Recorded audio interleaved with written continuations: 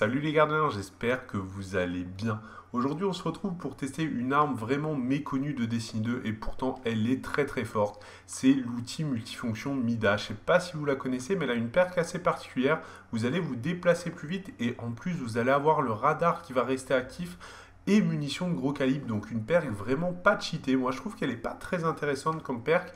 Euh, je sais pas si euh, ce fusil d'éclaireur a un bon M assist ou pas. Euh, on va bien voir ça ensemble en live de toute façon. Ces stats ont pas l'air ouf. Franchement, comparé à un autre éclaireur, vous voyez, elle, elle, est pas, pas très très forte hein, cette Mida. Je pense qu'on est sur une arme plutôt moyenne, qui va être bon à moyenne distance, mais pas exceptionnelle. Voilà, je pense qu'on va... Bon, j'ai essayé de la combiner avec un fusil auto, mais là encore, euh, un petit fusil automatique pas trop trop connu. Euh, on va voir ce que ça va donner. Oh, on arrive déjà dans une partie en cours. Euh, donc, alors, cette Mida. Waouh mais, mais, mais elle est mauvaise. Franchement, moi, je, visais pas du tout là. Je visais le collègue qui était à côté. Oh, mais, mais ces armes, elles sont trop compliquées à utiliser. Franchement, j'arrive pas du tout à jouer. Comment, comment est-ce que ça fonctionne? Oh bah... Ah, vraiment. Ah, j'ai un mauvais ressenti. Je la trouve pas très très forte, cette Mida. Vous en. Bah. Vous en pensez quoi, vous? Moi, je. Ouais, je sais pas. Il lui manque un petit truc. Peut-être qu'il lui manque un petit peu d'hémacis, je trouve. Parce que les balles, elles partent pas exactement où on veut. Euh, du coup, j'ai l'impression qu'elle a quand même pas mal de balles fantômes, non? Vous voyez, là, je suis mort. Je pense que avec n'importe quel autre éclaireur, franchement, je j'y serais arrivé, j'aurais pu jouer le, 1 contre 5. Mais là, avec cette Mida, vous voyez, les balles, franchement, elles passent pas. Là, l'ennemi, il aurait dû mourir 10 fois. Parce que, parce que je vise la tête et, euh, normalement, les gens, ils meurent hein, quand c'est comme ça. Là, pareil, c'est un contre 3, franchement. Cette arme, à longue distance, elle est, elle est quand même plutôt moyenne. Elle n'est pas exceptionnelle. Faites voir ce qu'elle vaut. regardez, les balles loupées. Franchement, cette arme, elle est vraiment nulle. Hein.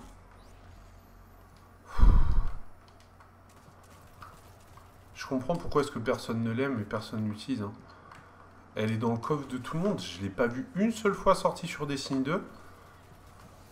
Mais c'est normal. Hein. Franchement... Euh, ah, ils l'ont remis pour le côté nostalgique, mais sinon elle n'a pas vraiment d'utilité, je trouve, dans Destiny 2. Elle n'a pas trop trop d'utilité. Ok, ok, le radar actif, c'est cool. Mais franchement, le radar, c'est un peu surfait, moi, je trouve. Je trouve que ça sert pas à grand-chose dans des signes. Pareil, on se déplace plus vite, mais en vrai, est-ce qu'on a vraiment besoin de se déplacer quand on a un shoot de PGM Non. Franchement, non. Moi, je trouve pas. Je trouve qu'il faudrait la up un petit peu.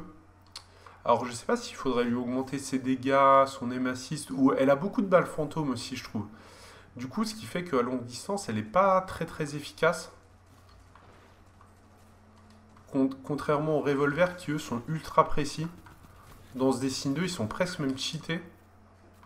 Je pense que ça serait bien que Bungie revoie un petit peu leur copie parce que quand ils font ce genre d'aberration, moi je trouve ça abusé quoi. En plus, c'est une arme exotique, mais franchement, elle en vaut vraiment pas le coup. Regardez. Hein. J'ai mis au moins deux ou trois balles de trop pour tuer cet adversaire. Hein.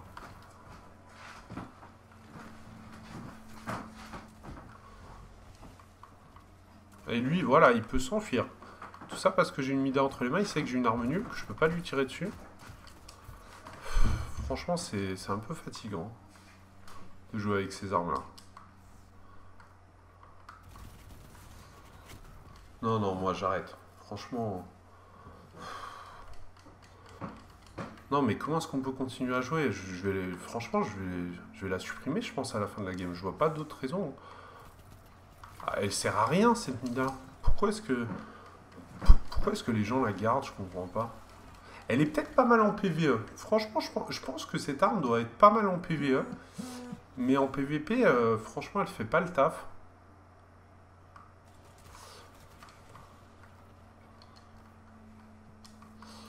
Elle fait vraiment pas le taf. Oh, puis combiner un fusil automatique, ça, ça va pas du tout. Ils ont exactement la même distance de combat. Et ces deux armes qui, voilà, là j'ai un petit peu de chance. Franchement, j'ai un petit peu de chance sur le duel. Euh, mais ces deux armes qui se combinent pas du tout. Et en plus, je pense vraiment que qu'elle euh, voilà, doit être un peu plus efficace en PvE. Ces munitions de gros calibre, je pense, ça doit, ça doit toucher plus fortement les, euh, les corrompus, je crois. Je crois que c'est ça, cette perk. Donc du coup, du coup moi, si j'avais une note à mettre à cette arme, je lui mettrais un 2 sur 10. Et voilà, moi, ce que je vous conseille de faire avec cette arme, c'est ça. Parce qu'elle vaut vraiment pas le coup, donc vous pouvez la supprimer et passer à autre chose. Ouais, vous l'aurez compris, hein, je pense c'est petite vidéo parodique. Essayez de jouer à autre chose qu'à l'Amida, les gens. On en a tous marre. Allez, à plus, bye.